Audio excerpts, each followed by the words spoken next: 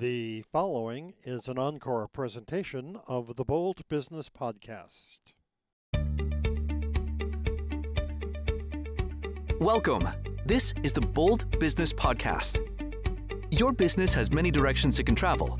The one true direction of your company creates the journey for you to move toward a new, exciting level. We call this the red direction. In today's program, we delve into one idea the idea will support you as you work on ever present situations, including how to stay competitive in a changing market, how to break through the business plateau, and how to anticipate the changing expectations of your stakeholders. Jess Dewell is your guide. Jess brings you a 20 year track record of business excellence where strategy and operations overlap. Your path comes from consistently working from this special place, your unique true north. Now, here's Jess. You are listening to Generational Leadership. This is a really special program, and I don't remember where the idea popped into my little brain, but my little brain turned it into a really big idea, and I started talking about it, and I had takers. First, my mom said, Sure, I'll come on the show. That was surprising. Then I called up a couple of women that I know and I said, Who do you know? Would you be interested in, in joining me as a mother and bringing your child or with your mother and joining me on the program? And we had a fabulous group. We had two other mother daughter pairs. Their age range for our group today was from 27 to 92. Okay, that's a 55 year span of talking about generational leadership. And this excites me immensely. I asked the questions What was one value or trait you wanted to instill in your child to best serve them as adults? And then I asked of the children, What is a lifelong message that you received from your mom? And the conversation took off from there. We'll be right back after this. Welcome to the Voice of Bold Business, the show that provides everything smart leaders need to evaluate situations, build relationships, and create solutions. Jessica Dewell candidly talks about the skills necessary to build tenacity and do more with less. And now, here's Jessica. And we're going to just get started. So, I have a question for all of the moms here. So, Gloria, Laura, and uh, Mom Joan, if you would like. And that is what was one value or trait that you wanted to ensure were instilled in your children to best serve them as adults?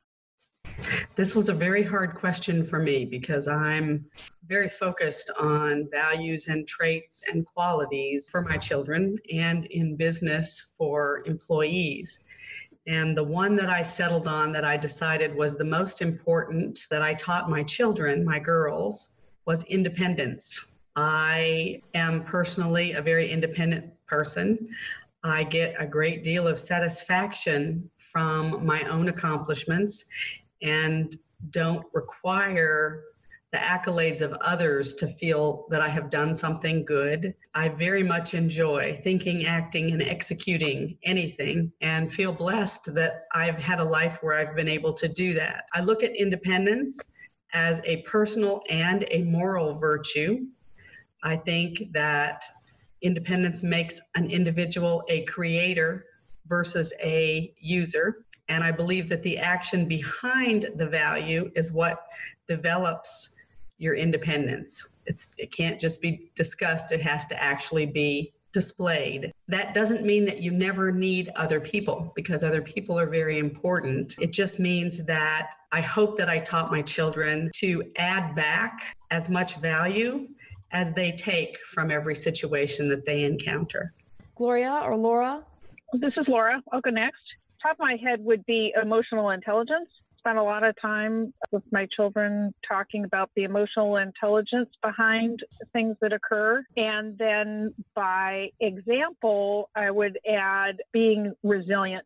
May I ask, Laura, how you modeled those traits? I think Katie will probably concur that many, many times that something would happen and the lessons of emotional intelligence would come in the form of my saying, well, now what's really going on behind that? Learning to look beneath the surface of someone's outer action and trying to understand the landscape behind it And then modeling resilience was certainly through the fact that we were thrown into a different family setup when the kid's father left, raising the children on my own and having to make all that happen on my own. Uh, certainly get up, pick yourself up, figure out the situation, and keep moving forward. All right, Gloria. What's a value or trait that you wanted to instill into your children to best serve them as adults? Well, I wanted them to be loving and caring and family oriented and helping each other, being there for each other through the, through the years of growing up and as, as adults as well. Of course, I'm a twin. I have a twin sister, so I'm used to having somebody at my side and caring and being part of my life all the time. So I love to see this amongst my children well. And uh, of course, make me proud of them as adults in every way that I would love them to be, as well as, as myself, because I use myself as an example. I did have a wonderful upbringing and wonderful parents. I hope my children grow with the same admiration and caring and loving that I grew up with as a family. And I think it's very important, especially with the world today where everybody's at different parts of the of the world. I hate to to see them drift from one another. And loving each other is, is another aspect of my my uh, feeling a necessity. You bring up something really important, Gloria, and that's the concept you used the word drifting. With so much technology and with the ability to be geographically scattered, how do you feel this issue of being far apart, of being more technically connected and less emotionally connected. How is that impacting what we're seeing today in our communities and maybe even in our own lives, good or bad? I see it more of a disconnection now because of the distance.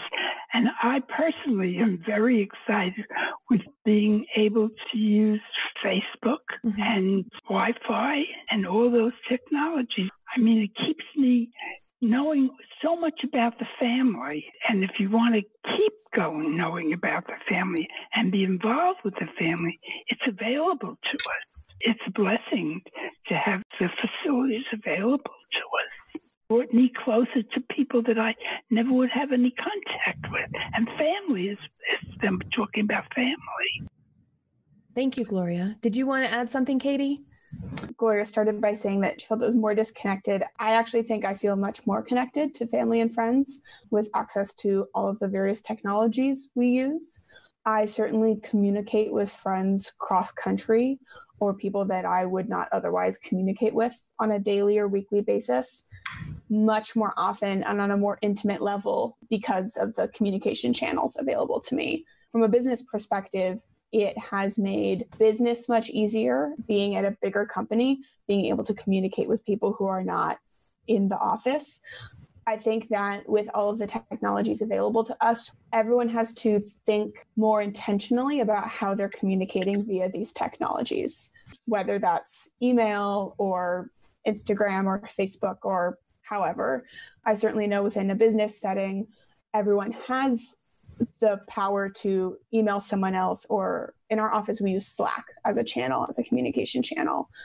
Everyone has the potential to be able to use these communication channels but part of the skill and the art of communicating still comes into deciding when it's better to walk down the hall and talk to someone. I think that's where some of the art of that communication comes in is deciding where that line is drawn between becoming more efficient or being more personal and which is going to be more effective. I feel like with technology, you both uh, alluded to this and that's that it's really neat that we get little peeks into people's lives we don't get to see every day that we want to stay in touch with family friends colleagues and i'm going to talk about my sisters and i for a minute we don't talk on the phone all that much anymore. 10 years ago, 15 years ago, we would call and we'd have yap sessions. And I don't know what else to call them besides that. Just uh, talking and talking and touching base and touching base. And now that we have technology, it's kind of like, oh, well, she'll see it on Facebook. Oh, well, she'll see it on this. Oh, well, you know, I'll just send her a text. And I know personally, I very much connect with others one on one and in an in person. So, audio video is fantastic. It's like this thing that I can't live without. We are going from East Coast to West Coast on on this program, which is quite fun. Uh, yet at the same point in time, I'm like, huh, sometimes I wonder what my neighbors are doing. because I'm on the computer as, as, much as I am outside these days. And I make a conscious effort to walk the neighborhood and be outside to be able to make sure I know who's around me here too. You are listening to the Bold Business Podcast. We will return to the show soon. But first, I want to take a moment and give you a peek into what additional services and solutions you could access to fast track your business. This program was created to develop your capacity on demand by sharing insights, tips, as well as lessons learned by business leaders, unedited and uncut. And we don't just stop there. There are three additional benefits to help you reach your growth goals. You'll also have unlimited access to 1. Hearing tips and insights to develop yourself as a leader to get better results more often. 2. Experiencing viewpoints from many different business leaders. 3. Receiving frameworks to build core competencies and to more effectively focus on business growth and leadership. Altogether, the Fast Track Your Business program will allow you to face uncertainty anytime, anywhere you can access what will become your most versatile tool in your toolkit by going to fasttrackyourbusinesstoday.com. Now, back to Jess. Marilyn, what are you thinking? Everything that we have that's afforded us today is just helping us be more intentional. Be more intentional, whether we're on Facebook, face to face, whatever it is, we have to find our balance because we love to communicate and we can communicate anywhere. And that means that we also can work all the time. And as far as business is concerned, the technology never shuts down. So we can be connected all the time, and then we have to say sometimes no. No, we have to find even our downtime. Today, we are given an opportunity to really express ourselves, both as a connection to each other and our own personal self. What are our needs? What do we desire? Do we desire to stay in front of the computer today, or do we go next door, like Jess said? So we are called to action and we're called to really listen to what we are needing or wanting in a moment. You know, is this a good time to work or do I need to back off? And it's up to us. And we are given that that power and that control. Do you miss being on the phone? Not nearly as much as you were, but to some extent, rather than just texting and emailing and using that technology in place of it. Oh, if you're talking to me, Gloria, yeah, I do. I prefer a phone call anytime over text. Now, is it more efficient to use text or Slack or email? Yeah, it is sometimes. Like what are you bringing home for dinner? Or hey i felt something weird around and i wanted to just send you a quick text to make sure it was all okay. And if it's okay great. If it's not okay i'd pick up the phone kind of thing. Yeah that's okay. That's a little bit of everything. It is isn't it? There is certainly an idea that people in my generation never talk on the phone anymore, I'm guessing, and from what I've heard. And I would say that it comes back to that same thing that Marilyn was saying about intentionality. Certainly, me and my closest friends call each other fairly regularly, and we recognize the value of having that longer phone conversation. And we recognize that there are aspects of how you connect over the phone or on FaceTime, as Gloria said, that you can't replicate via text or email or we use GroupMe as another message channel. So that is certainly not something that has gone away, but it is used for a more specific purpose that is not transactional, like you were saying. And so we won't be calling to talk about something really quick, like planning the next time we'll see each other, but we will call to catch each other up on on our lives and that sort of mm-hmm. thing. And we recognize that as very useful still and very valuable.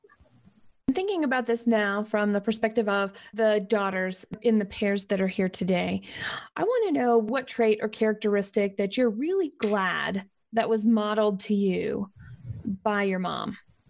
I would say, in, in particular, about my mother, the fact that she's quite amazing. She drives, she goes out with the friends, she has her hair done every week, she bakes, she does all these things, and she never gives up. She never, ever, ever gives up. I think that's really remarkable. And my mother's amazing. And to think of the things that you would think you wouldn't do at her age, she still tell them my age, Marilyn. Well, what the heck? I don't care. All right. I'm So proud she is she's 92. She's going to be 93. She drives a sports car. You can't I mean, I have to call her and yell at her because she because mom, where are you now? You know, who are you out with now? I mean, when are you getting home? I mean, it's amazing. And she does that. And so it inspires me. I'm 64 years old. I got plenty of time left. But I'm also in an urgency mode. And I'm also thinking to myself, I'm not too old to do something. I'm still young. I can still create an empire. I can still be on that stage. I can still write that next book. I can still do all these things because look at my mother. And she's a twin. So there's two of them. Imagine that? Two of us? so I'm very fortunate to be able to not just hear it, but see it, Mm-hmm. Which is it. here, which is listening to me. it's so funny what my mom said for things that she tried to uh, pass down to me because thinking about this this question ahead of now i would say almost the exact same answer for what i've learned from her or taken from her but thinking of it very broadly of i feel like i've learned from my mother how to understand people in a better way and in a more empathetic way that helps both in personal and professional settings it's probably because she and I have talked about this example all the time, but exactly the anecdote that she shared about my brother or I complaining about someone doing something at school and we thought it was so annoying or we couldn't understand why they were doing it. And her first question was always, Well, I wonder what's really going on with them. There might be something else happening there. I think about that all the time when there are conflicts at work or someone else is complaining about their significant other or their friend. I find myself parroting the same question. Do you think something else is going on, or what else could that be about? The other thing that I've learned just from watching my mother in her personal and professional life is the importance of maintaining connections with people. And it's something that I'm not as good at as she is, but particularly professionally, there have been choices I've made in my professional life to be more honest with managers or bosses or coworkers than a professional guidebook would tell you to be, or have been more upfront about what's going on in my life or the choices I'm trying to make with my life, and trusted that the managers and, and coworkers that I've had in the past will still treat me fairly and come to the table. And as a result, I have really positive, long lasting relationships with almost all of my past managers for past jobs. And I think a lot of that comes from things I've learned from my mom about keeping those relationships and valuing people as people, not just as the roles that they play in your life. In your life, yeah. Your answers are great. And I'm thinking it's okay that I leave my laundry that's clean on the couch for a few days before I fold it. I also value ritual, and I'm calling it a ritual because it was every week. Every week we would clean the house, and there was a way we would clean the house. And we learned these skills that when I got out into the real world all on my own, and I saw how much nobody else knew about cleanliness and care and taking care of our things that we had that were really important. And so I'm just thinking about the behavior things on that perspective and saying, you know, I'm glad that I learned how to fix things. I'm glad that I learned how to take care of things. I'm glad I learned the power of having a rhythm that I get to do over and over, even when I hate it. Because I have to tell you, cleaning is something I'm not particularly fond of. But nonetheless, it's there. It's this thing we have to do.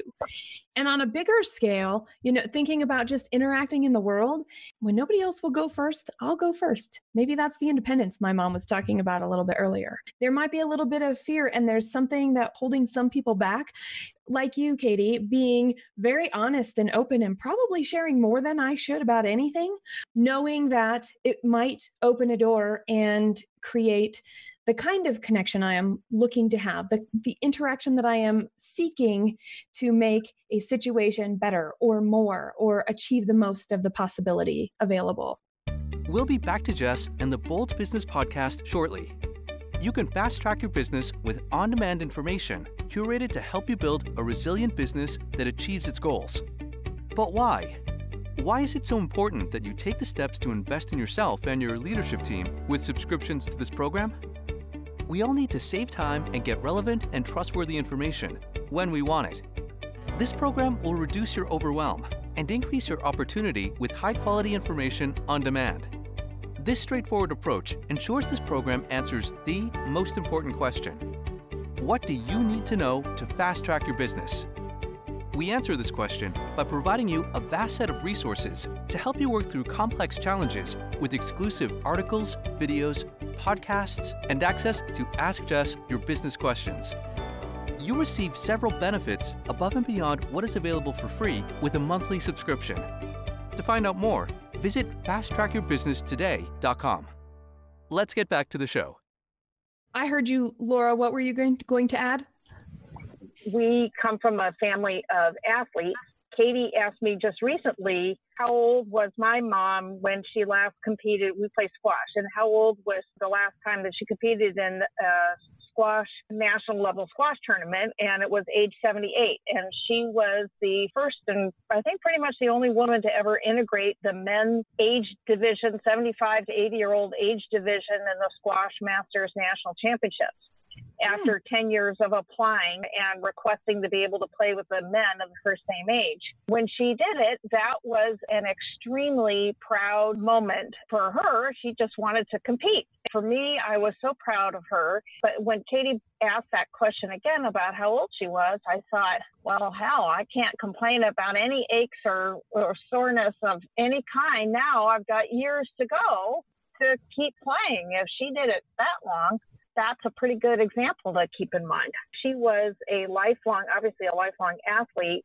but despite having had two lung uh, vivisections as a result of tuberculosis when she was in her 20s. She wow. really, really defied the odds and persisted and just kept going and wanted to remain in, uh, you know, lived a healthy, active life way past when any doctor told her she would be ever be able to do. We grew up with that as a pretty strong example. What is something that you're faced with today that your mom was not faced with that changes the way you apply what you've learned from her? How about that? There are differences generation to generation. And there are differences. And then I think what you're suggesting is that, yes, there are still similarities because human beings are human beings. I think we all have witnessed in the last year, certainly with the current political climate, you can remember the French phrase of plus ça change, plus c'est la même chose. And more things change, more they stay the same, and that the dynamics of trying to be a businesswoman in a leadership role requires extra skill and balance I think, than that I think has, has not necessarily changed uh, other than hopefully there are more men who are a little more open to having strong women in le- business leadership roles, but doesn't eliminate the challenges. I find myself in situations that I am like, wow, my mom talked about that. Wow, I hear my aunts talk about that. Wow, I had no idea that I would still be finding myself in the same situation. And then, of course, being able to apply the way that I do me and show up the three values that I have embraced to say, this is how I'm going to show up in every situation turns out to be different because I'm a different person. Yet all of the wisdom that I didn't know was wisdom at the time, the the sharing of the experiences actually gives me a starting point. I don't feel like I'm starting over by any sense of the imagination. I'm just sometimes surprised I still am going, wow, I thought there was more progress. And so to me, I came from this place of, there's all this progress made. Look at this. The world is ready for strong women like us. And well, sometimes, sometimes. That is true.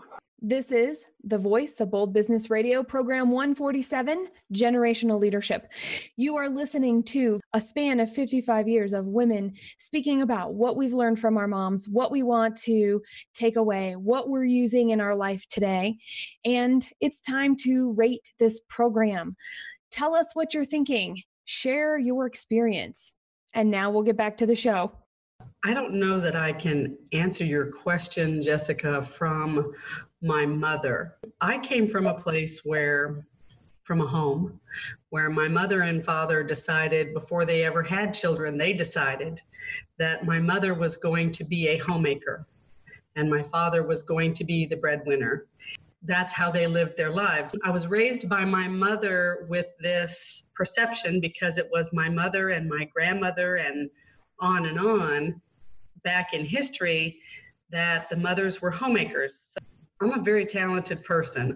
You name the craft, I can do it. You name anything, bake, cook, you know. When I was a senior in high school, I faced a real crisis personally. And that was, you know, you read about this or you hear about it, but I was actually in it, which was I never felt like I fit the role of a homemaker mother. And my mother, she sure set the role. She was like the perfect homemaker. Jessica can attest to this because my Post mother crafts. Yes. Mhm. she sewed all of her clothes, all of our clothes when I was growing up. I hate shopping to this day because when I turned 18, I had to start going to a store to shop for clothes, and nothing fits the way it does when your mother makes your clothes the whole time you're growing up. And as much as I started having children and wanted I wanted to emulate that and I tried. And it's not that I failed. In one sense, it's not that I failed, but that was not my calling. Being it's not where I found myself.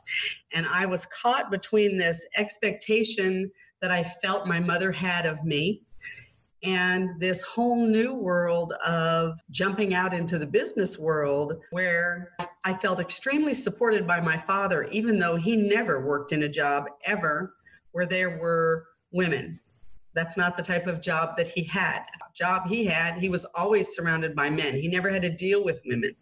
And so we would have some very interesting discussions, he and I.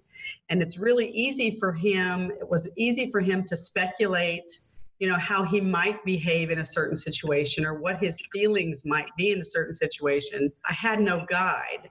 So i will tell you especially being someone who once you started to have people reporting to you in business having all those skills of the mother side of me are very helpful in business. I mean it gives you many tools that people who have not had that experience have. They just don't have that capacity. But I really felt like I have paved the way because, yes, I picked a male dominated industry, not by choice. It's just where I ended up. And I love the industry, but it has been. So you broke tradition.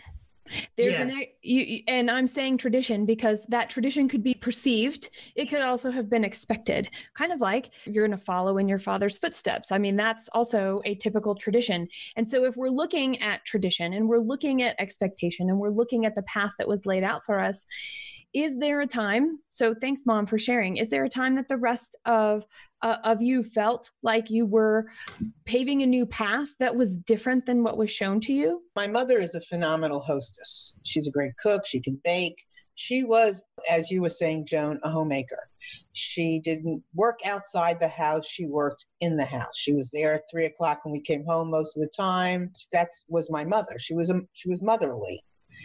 I am motherly in a different way. My mother was great at parties. I love to have parties, but I can't do it the way my mother did it because for me to do it all, that means be the working person that I am, be the wife that I want to be, the grandmother, the, the daughter, and all of the things. I got to go buy great hors d'oeuvres.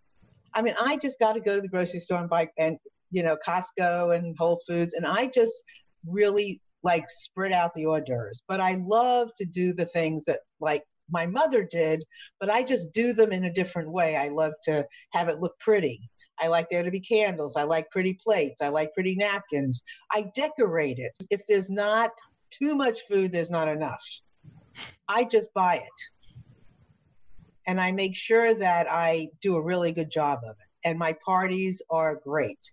There's always flowing wine and all kinds of fun, but I just don't do it the way my mother did. And sometimes there is a little guilt factor. But then again, I have to look at it and go, you know what? When I make a party, Progress. huh? Progress. Yeah, well, when I make a party, I'm in the party. I'm not in the kitchen. There's another thing. I like to socialize. Well, my mother likes to socialize, but she was I in the do. kitchen bringing the food in and out. And when I make a party, it's already out for the most part. And then I can play with everybody, even when I have my children over. Generally speaking, I don't necessarily cook because if I'm going to cook, then I can't do all the other things I want to do. So I buy it. Then I can sit and play with my grandchildren and do all those things. And that to me gives me the fullness of what I want to do, but I have to pick and choose what my mother did. It's easier nowadays because there are options for buying food, whereas uh, in different older generations, there weren't the same options to be able to do that. But it's nothing wrong with making a different choice. The essence of what you're doing is still as equally powerful. I wanted to follow on from that with a point about something that my mom and dad uh, held out as an important parental element that and then i'm curious to hear what katie said because i hope that i have done the same thing. They were very keen on all of us finding what our own passion was and being supportive of whatever that passion was as opposed to imposing an expectation on us for a specific career or path. That was something that i tried to emulate in raising my children. I think i succeeded but i'm curious katie what you think about that I think that that's accurate. I particularly remember that more acutely from childhood of being encouraged to follow whatever the passion of the week or the month was. I certainly never felt any external pressure to follow a particular career path or life path, that sort of thing. Thinking about the questions ahead, also, I'm struggling to come up with an answer because I think in many ways I feel like my life and my mom's life are similar we literally have both worked in commercial real estate within the last two years. She still does. I don't. I think that one of the differences that is interesting is our family has two describes two different types of people. There are thinker uppers and there are getter doners. My mother is and you can correct me if you think I'm wrong, mom. My mom is a getter doner. She checks the things off the lists. She's very organized. She's hyper efficient and she gets a lot of things done. I am much closer to a thinker uppers. And in that way, it's tougher to compare where our careers or our personal lives have diverged because they feel so different. There are so many get or done doner qualities, as we would say, that she has that I don't have as much of, particularly in the organizational department. However, there are different sides of my creative brain that I value and I think come from my grandmother and other people in our family that I have inherited in separate channels. So it, it's hard to compare apples to apples, but I think there are ways in which the getter doner qualities that my mom has have influenced me, but also my grandmother and the way that she chose to live her life creatively, I have also learned from thinking generationally.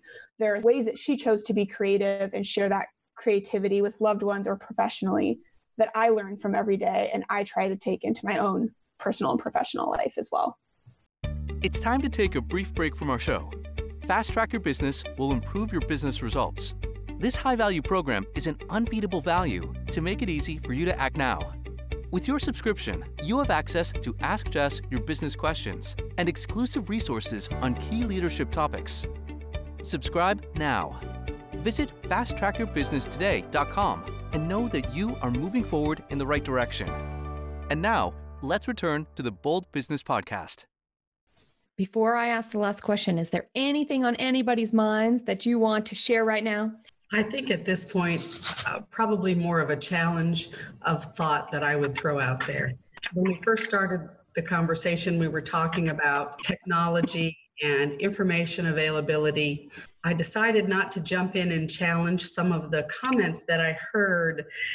I guess I would just say to you that more information has, in my opinion, has resulted in a much less intimate relationship between mothers and children, between grandparents and grandchildren. There's an expectation that I see of younger generations than me that I follow them around on their choice of technological, whatever they use to communicate with each other. Their expectation is I follow them around so that I know what they're doing. My expectation is I'm your mom, and if you want me to know, you need to tell me because I'm not going to go follow you around. I have my own stuff to do. I will tell you, I'm struggling. I'm struggling because I believe strongly that there is a huge new, still yet undefined skill set that is emerging through this whole technological evolution.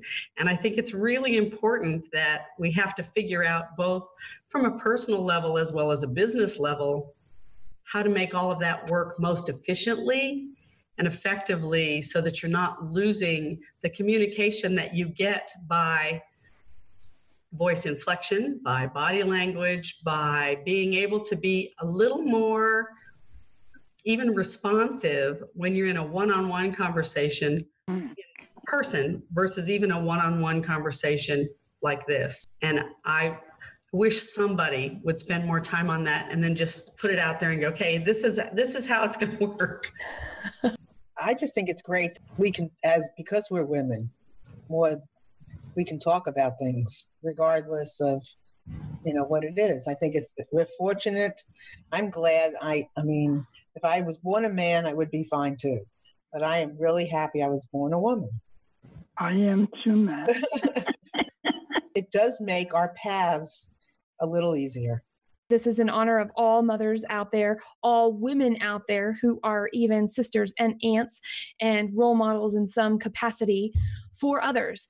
If you were to share one piece of wisdom from the experiences that you have so far, what would be a piece of wisdom that you would like to share from your perspective, either to the women that came before you because of what you've learned and the differences that you've seen, or the women that are coming after us they can use both of those pieces of information to look and see how things are changing and how they're the same as we continue through each generation of women coming up behind us. This is the first thing that came to mind, and it's pretty direct, but I think about it a lot and I talk about it with my female friends a lot. My piece of advice would be to take a breath in stressful or anxiety inducing situations, particularly at work, and to apologize less. I think that women apologize a lot when we don't need to. We apologize when someone bumps us in the hallway. We apologize when someone bumps us on the bus or when we've said something that we don't think is 100% absolutely accurate that encompasses every part of whatever it was we meant to say. And men don't apologize like that. I don't think that we necessarily need to move our actions towards what men do as the ideal default. We don't have to excuse ourselves for having our own thoughts or opinions or existing in a space like a hallway. I think that this applies personally and professionally, but I have been thinking a lot about when and how I apologize.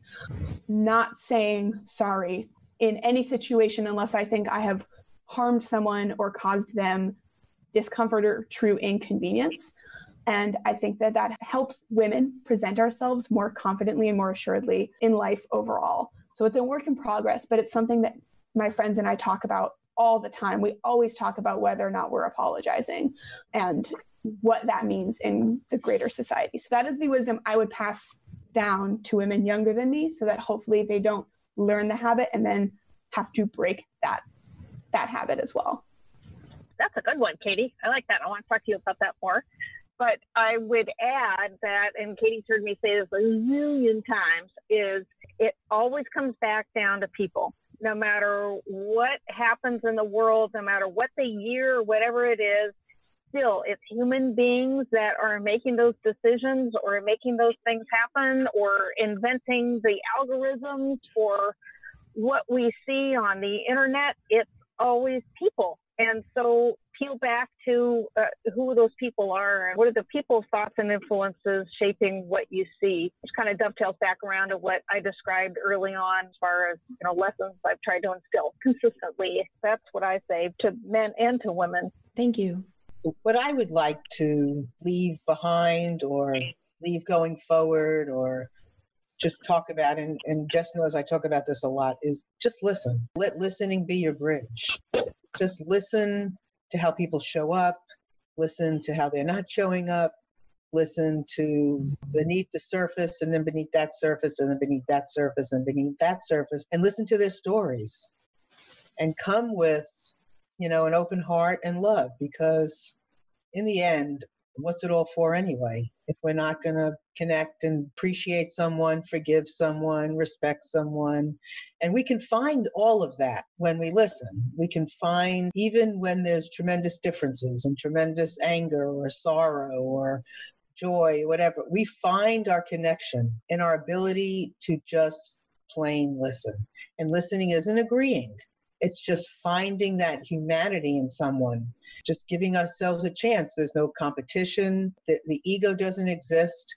It's just a clear slate and a playing field where we encourage each other, and it just works every time. We really need to work this life together. And in listening, we can do that. I think anything in moderation, not carrying, can't always be wrong. You can't always be right. And feeling guilty is not a reason for feeling wrong because you may not have to be.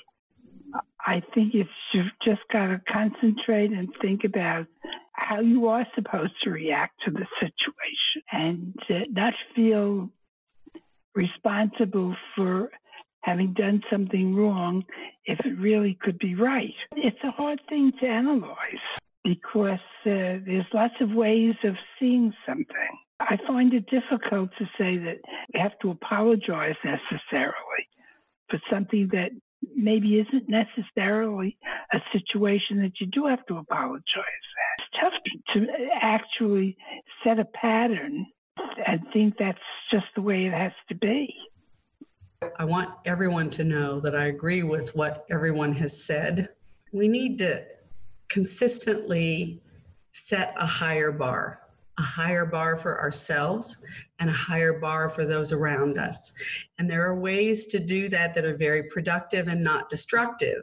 But we seem to be moving into a world of mediocrity being acceptable and less than mediocrity being acceptable. And I, I think in the long run that that is very damaging to a community, to a nation. And I think that we each can set a bar higher than that and try to in, just improve the world around us and the people around us, taking in mind everything that everybody else has mentioned.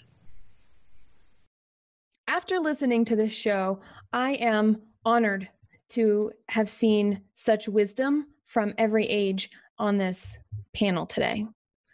I am also humbled by the fact that there is so much information that we can use that we have access to provided we ask the question that's one of my top values. In fact, it's the top value. If you look at my list, it's curiosity first.